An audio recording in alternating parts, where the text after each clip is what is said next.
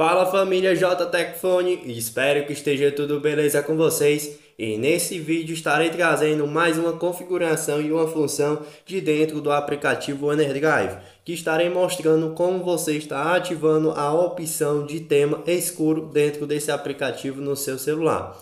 É uma configuração simples de você realizar sem dificuldade alguma, então se liga no vídeo até o final.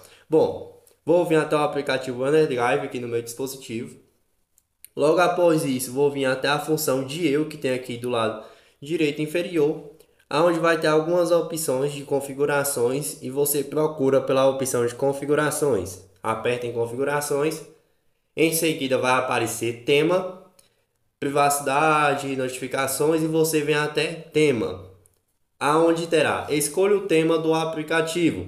Vai ter claro, escuro e padrão do sistema. Então você seleciona a opção de escuro e já vai estar ativando a função de escuro aqui dentro do seu aplicativo. Ou então, caso o sistema do seu celular já esteja no tema escuro, você pode estar colocando padrão do sistema. Vai estar deixando também o aplicativo no modo escuro, no caso tema escuro, aqui dentro do seu celular.